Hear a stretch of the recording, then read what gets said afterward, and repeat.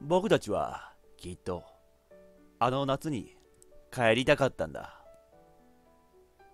いやー、施設のケース来たよ今回やっていくフリーゲームはですね、ハッピースクール。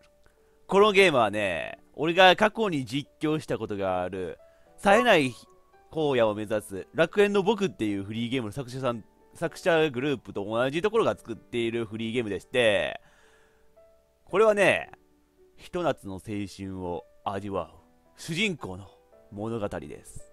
舞台は7月。そんな暑い時期の青春を呼び起こしてくれるだろうフリーゲームをやっていきます。なでもね、このゲームはその、上海ラプソディさんの、えー、過去作をリメイクした作品らしくてね、まあ俺その作品、過去作、やったことないんで、新鮮な気持ちでやるんですけど、やっていきまーす。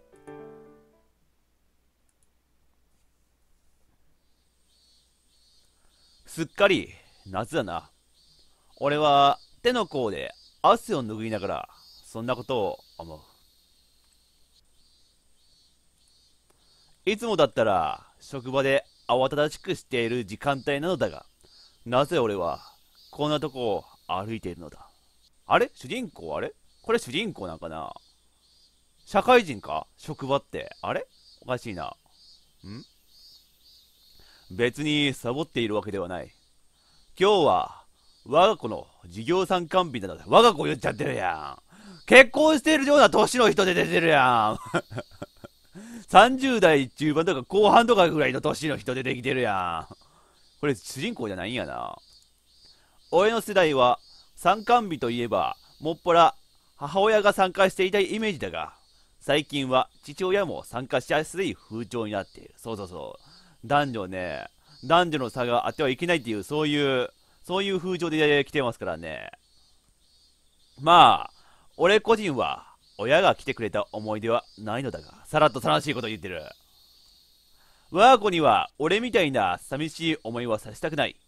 だからこそ、半日休暇を取って、参観日に馳せ参じる次第なのだ。しかし、まさか、我が子が俺の母校に通ってるとはな。知らんかったんかい 知らんかったんかい それも自分の我が校のことをさ、昔にすぎないか？それぐらいは知っとるだろう、お前。私は、あ、俺は、目の前の校門に刻まれた学校名を見る。私立朝門学園でいいかな。その文字は、俺が通っていたあの人よりは年季が入って見えた。そりゃそうだ。俺が通ってた頃から何年、いや、何十年も経てるんだ。校門だって、校舎だって、古びてくるものさ。だけど、俺は空を見上げる。だけど、この青い空は青の夏のままだ。俺が空の本当の青さに気づいたあの夏。気づけば、俺はあの夏のことを思い出していた。俺と彼女のひと夏の思い出。ライトノベルみたいな冒頭。あ、オープニングじゃ。黙っときますね。めっちゃ回るめっちゃ回されてるめっちゃ回されてる かわいそうなぐらいめっちゃ回されてる、このパンダ。あんま可愛くないパンダだな。喋っちゃった。普通にオープニング喋っちゃった。黙ります。ほんまに黙ります。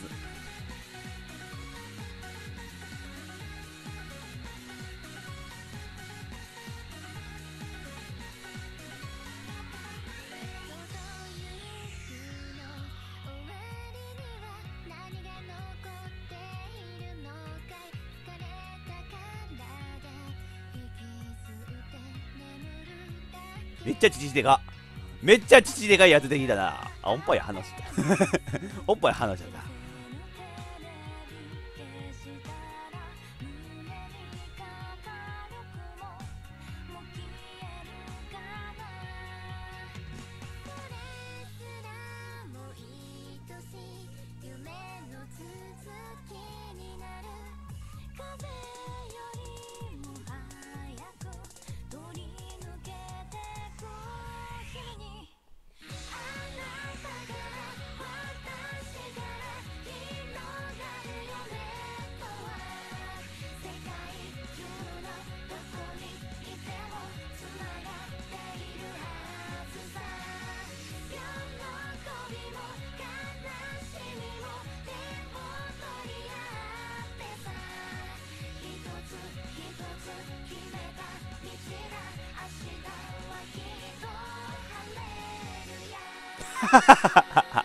いや、一番左のやつ。一番左のやつ。違う作品の人出てきますけど。あのー、男一人目つけて、襲いかかるあーの人がおったけど。出てきちゃいけない人出てきてませんかね？あのー、あのーあのーいいんですかね？ああいうの出てきていいやつなんですよねこのゲームって。俺知らねえ。俺知らねえから。目撃者だから俺は別に目撃者だから。俺知らねえ。ああこういうゲームだったんやな。続きやるわ。なんかすごそうなゲームですねこれ。その日の空は青く澄み渡っていた。俺は重い扉を開き青空に近いその場所へと向かう。誰もいないかと思っていた。だけどそうではなかったのだ。青い青い空の下一人の少女がそこにいた。夏の風に吹かれて消えてしまいそうなとても儚げな雰囲気をまとった少女。強い日差しに眩しそうにしながらも少女はノートに何やら書いていたデスノート。人の名前書いてる。犯罪者の名前書いてる。キラがここにおるな。その様子がまるで名画のようにあまりにも美しく俺はしばらくの間見とれていたデスノートのデスノート展があるんか。どっか東京で行われそうなデスノート展に飾られる名画みたいな感じだったどれだけの間そうしていただろうか。やがて少女は顔を上げる。不意に俺はベッドから飛び起きる。回想だったわ。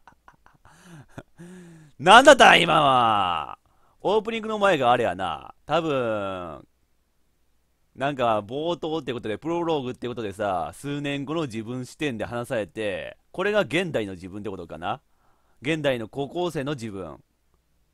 なんかこの部屋見たことある気がするんやけど冴えない荒野を目指す楽園の僕でもなんかこんな部屋見たことある気がするんやけどなんか気のせいかな俺あと右上、もろにさ、桜さん映ってるからな。冴えない荒野を目指す楽園の僕のヒロインの人映ってるからな。出たよ、このさ、サークル、フリーゲーム制作サークル RR。最新作に過去作のポスター貼るってやつ。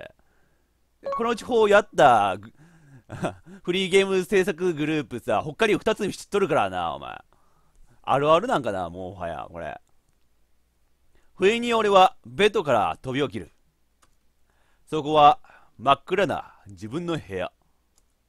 カーテン越しにも、まだ外が暗いことがわかる。今まで不思議な夢を見ていた気がする。何が不思議かというと、別に怖い夢でも嫌な夢でもなかった気がするのに、目覚めた今、何かとても不安な気持ちで満たされているということだ。不安？今にも掘り出しそうな、えー、運転？俺漢字苦手なんですよね、これ。この程度の漢字でも読めないタイプの人間なんですけどね、運転でいいかな？ブーンブーンその運転じゃない。の空を見上げる時にも似た。この胸の中の暗雲は一体何だ？あまり元気よく一日が過ごせそうな目覚めじゃないな。うん。うん。よし。もう一度寝直そう。高崎和人。高崎和人。この人、VRMMO に参加したら、絶対タカトって略して、タカトって名前でやるからな、この人。二刀流使いとかになるからな、あ、後々。スターバーストストリームだからな。目覚めの悪い日は寝直すに限る。そして次こそはいい目覚めになることを祈ろう。目覚めが良くなるまで寝続けてやるのだ。ははは。俺はそう決心して、再び布団の中に潜り込む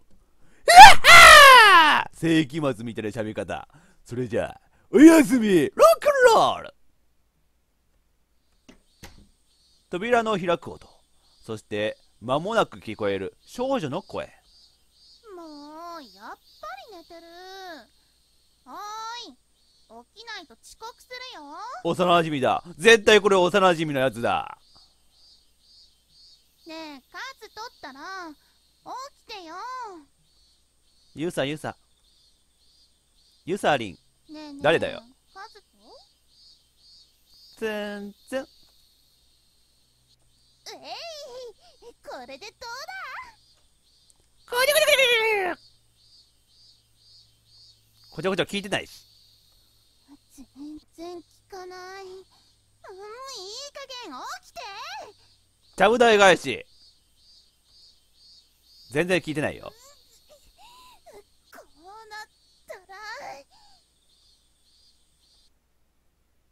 不意に音が風が感覚が消えた。やめろ。チャドの冷圧が消えたみたいな感じになってる。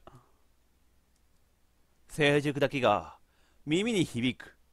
そして異常に不穏な気配がしたので俺はとっさにベッドから転げるように避難する。そして恐る恐るするベッドの方を見るとおはよう。今日もいい天気だね。何やってんだお前は何の力を使ったん？お前何の残白糖の力だ？お前は。ブリーチじゃないんだよ。そこには一人の少女が腰掛けていた幼なじみはなんかさこのおっぱいの上から垂れるネクタイ。通称ネクパイって俺いいと思うんですよね。こんな感じで。うん。俺なんかこういうフェチなんですよね。ネクパイフェチっていうかな。俺は状況を瞬時に理解した。こいつは吉野遥。香俺とは家が隣同士の幼馴染である。遥ちゃん。よしの。よしの。よしの。世話好きで毎朝こうやって起こしに来てくれるのだ。それ自体は助かるのだが。時々このような暴挙に出るので油断がならないのだ。何やったんだ？ほんまに星一徹並みのちゃぶ台返ししたんか？お前ないきなり奇襲仕掛けてくるなよ。危ないだろ 奇襲って言葉があるからな。なんか軍か？軍が敵軍の基地に白い 奇襲仕掛けた感じになってるから。俺は当然の抗議をしただがこいつにもこいつなりの言い分があるらしく不満いっぱいの表情でむくれる。奇襲なんて物騒なことはしないよ。だいたいさ数とか起きないのがいけないんじゃん。幼馴染はみんなそう言うんです。確かに俺にも非はあるだろう。だがしかし駄菓子屋の漫画常識的な起こし方というものがあるだろうが今お前絶対飛び蹴り決めようとしただろう。スマブラやん。もうスマブラで見れるような技出してくるやんお前。ピコーンでキーンとか言うてさバースト演出出てくるかもしれんでカズト君が。ゲームセット。俺ははるかの宣告の暴挙を咎める。だがはるかは涼しい顔をして言う。飛び蹴りはただお布団にダイブしようとしてただけだってば。プロレスか。ダイブってダイブでさ思いっきり飛びかかってダメージ与えるプロレスかお前。あと僕こうだったんだね。いやどう見てもあれは必殺キックのようにしか見えなかったんだが。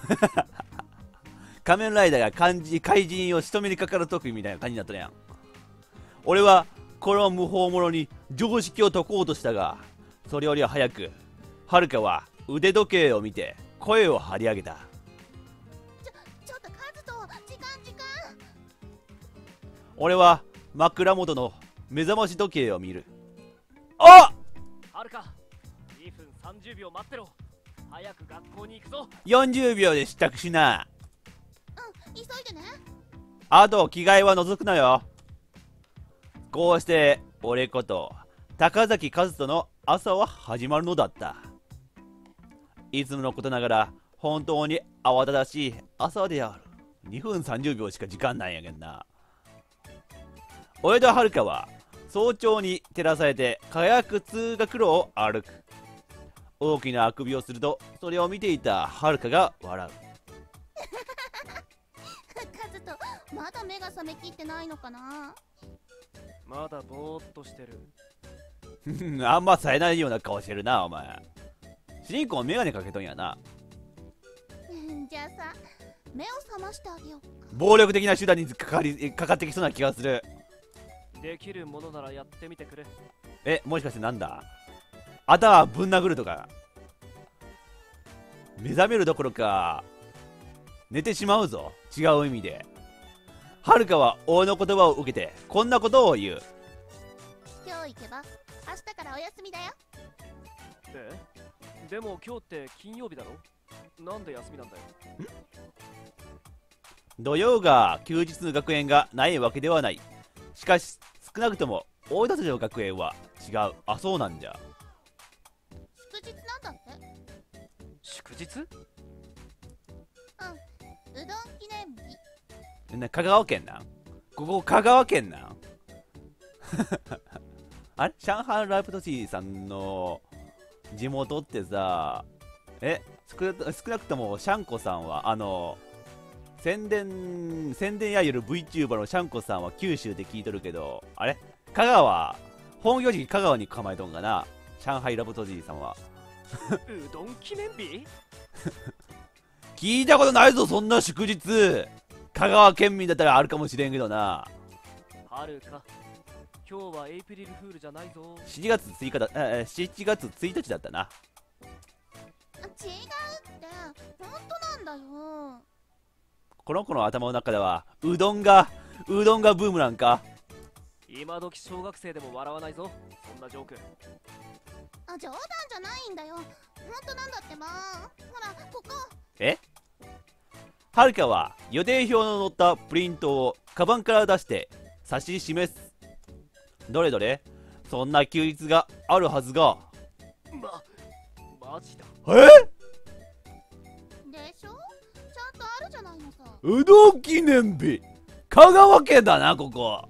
さてはここ香川県だな。徳島県。お隣の徳島県は俺の地元ですけどね。どうでもいいか。頭から疑ってごめん。はるか。いくらなんでもネタ以外でそんな休日ありえないと思ってた分かってくれればいいんだよ、こんな日にそば食ってたらそばなんか食ってたらぶん殴られるなみんなから。袋叩きにされるな地元の人から。お詫びに何かやろうか。何か？いいよそんなの。いやそうしないと収まらないんだ。そう言いつつ俺はポケットの中に手を突っ込む。えその辺で拾ったホコリとかゴミとか渡すんじゃないだろうな。はいこれなあはるか。ベルマーク5点と炭酸電池1本。どっちがいい？ようベルマークあったよな。ようベルマークあったよなお前。集めてんのかお前。いいよそんなの 言葉は同じだがさっきのとは別の意味合いだなはるかよ。というかなんで俺のポケットにこんなもん入ってるんだ？知るか？というわけでうんなんかその日に毎年校長先生が本場の讃岐うどん食べに行くから休日になったんだって。校長先生なんじゃ。校長先生の権限使っとるんじゃ。それはしょうないわな。それは校長にすら逆らえんわな。とことん私的な理由で休日に指定されたようだ。はるか？何かそれについて思うことはないのか？えっと僕はうどん好きだから嬉しいな ごめんな。俺は刹那圭介はラーメン派なんだ。俺はうどんよりそばの方が好きだかな。ああお前とも敵だ。ラーメンだ。ラーメンを食え。麺類といえばラーメンだろうが。徳島ラーメンうまいぞ。讃岐うどん食いに来たついでに徳島ラーメンを食いに来いよ。とこな隣だぞ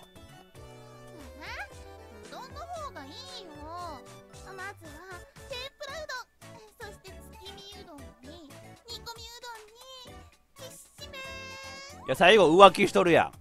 最後浮気しとるやないかお前。ってそういう問題じゃない。まあしかし理由はどうあれ？休日には変わりはない。休日が増えるのは正直嬉しいし。明日が休みと分かればいやいやごいやおうがなし。なんて読むんやったっけこれ。にテンションが上がってくる。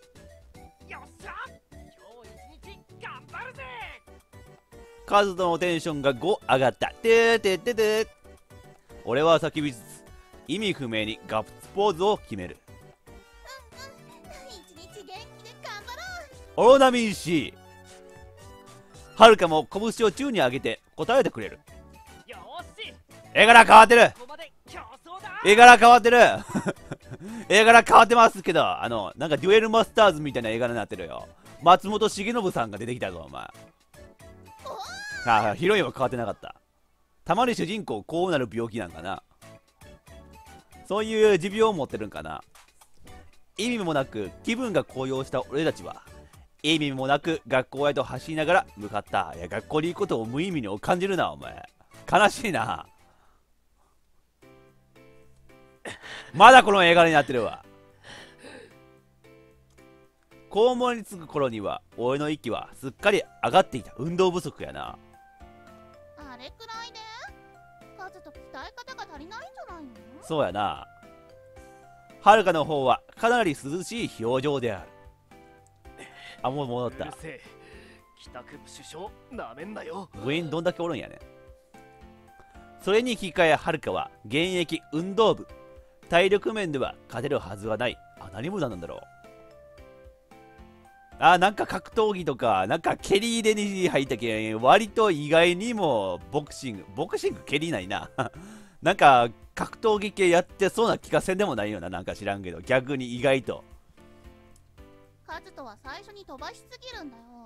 もっとペース配分を考えないとすぐにバテるじゃないのさ。そうか。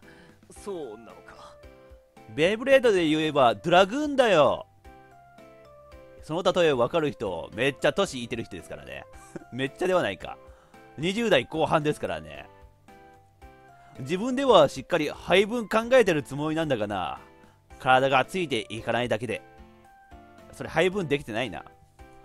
額にじわっと浮かんだ汗を手の甲で拭いながら何気なく目の前の校門を見る。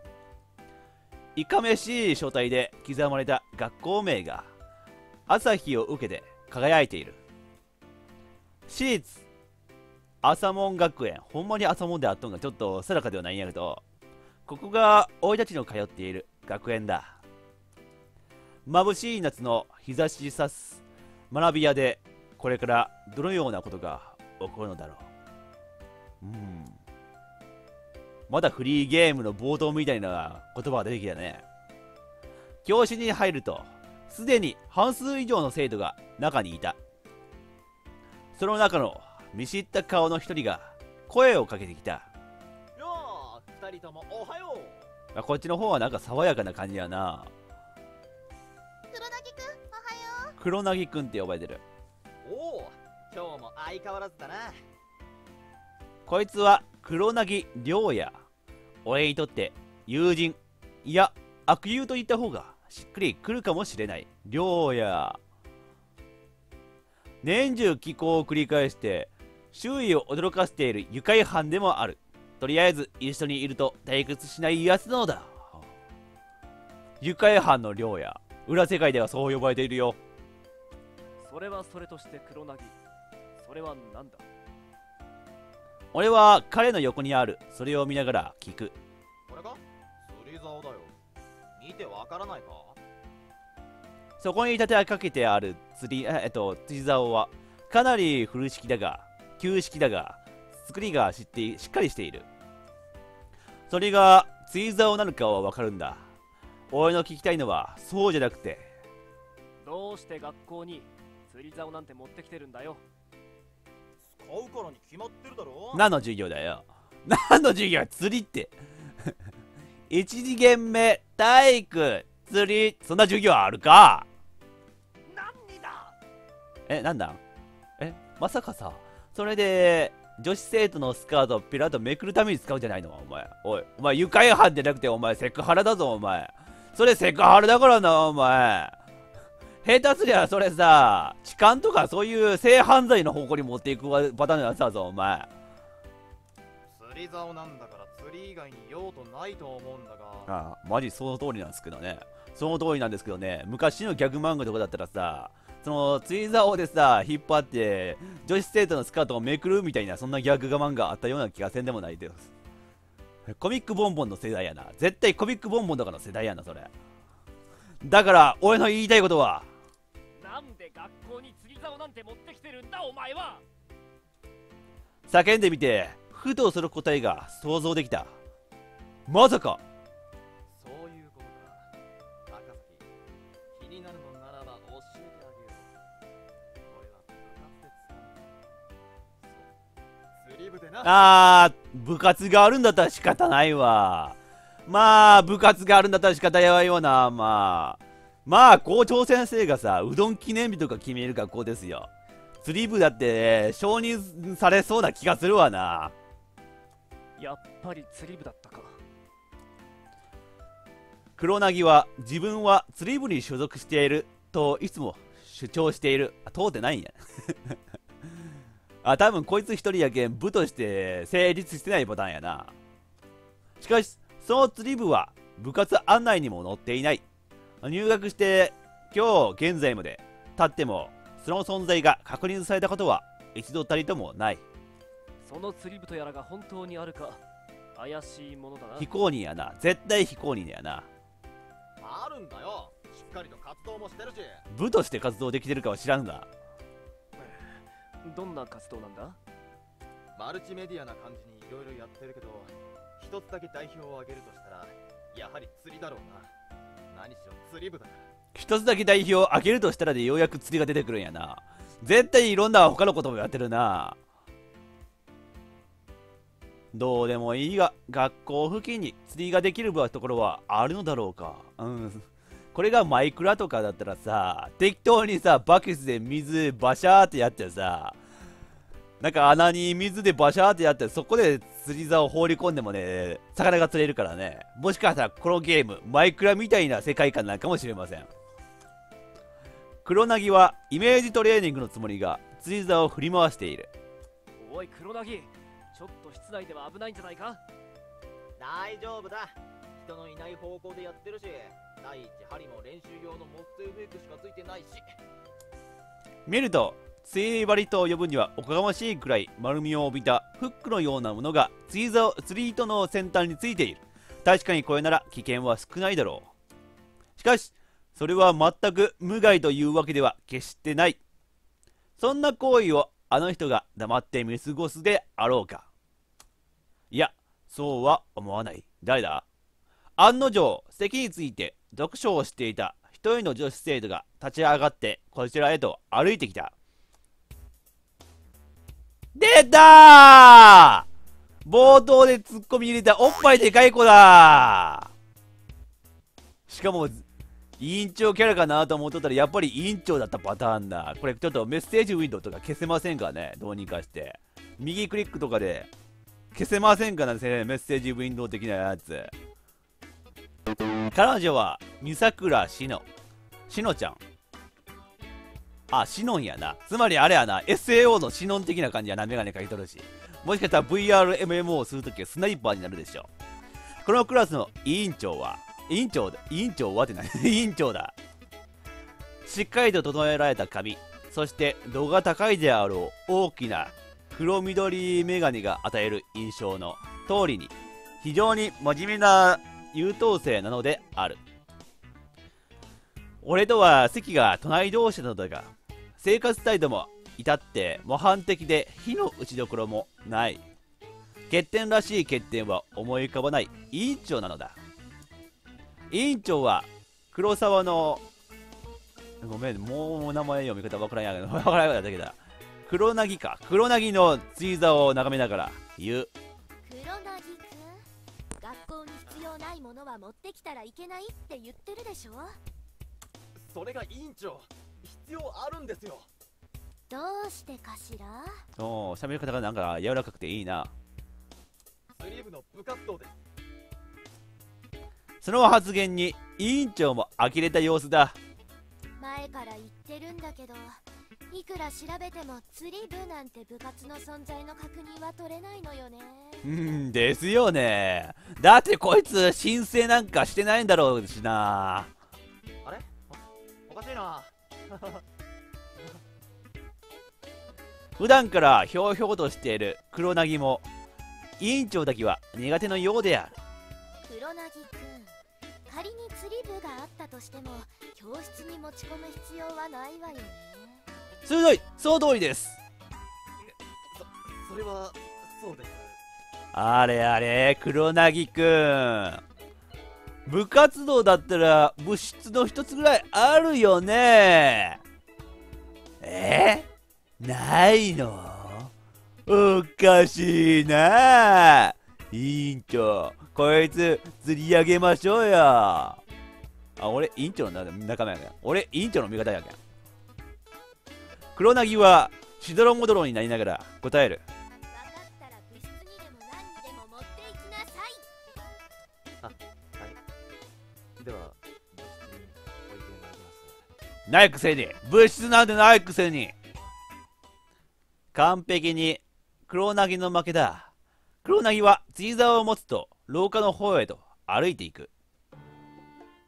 なぜか黒なぎの後ろにはるかがついていく。あはるかどうしたんだ？針が髪の毛に引っかかってるんだよ。あららら。ちょっと外して。黒なぎはそれに気づいていないのか。そのまま進みはるかはずるずると引きずられていくなんだかその様子は西部劇の悪党の結末に似ているかもしれない。ってなんて言ってる場合じゃないか。早く何とかしてやらないと。はるかのポニーテールが釣れてしまうな。おい釣り竿にはるか引っかかってるぞ。本当だ。本気で全く気づいてなかったのか。一本釣りはるかの一本釣り。まあなんだ早く取ってやれ。うん。おい黒なぎ聞いてるのか？さすが俺。陸でもこんな大物を釣り上げるとは本物の海人だな。しばかれろ。え？大物ってまさか。吉野さん釣り上げは あこいつもこんな見た目になるんじゃお前黒なぎはそのままはるかを引き寄せる。そしてさらに。プレイボーイ。そのままはるかを抱えて走り出す。ちょちょっと待て。どこに持って帰るつもりだ？お持ち帰り竜宮レナが出てきたよ。竜宮レナが。まあ確かにはるかちゃん可愛いからな。止めるより早く黒なぎは走り去っていく黒なぎの暴走を止めるために俺はどうするべきだろうか。あ選択肢出てきた。これどっち選ぼうか。うん。あえてここちょっとねセーブしてここで終わりたいと思います。というわけでね次回このね黒なぎを仕留めにかかります。なんだその話はお前。よっしゃみんな。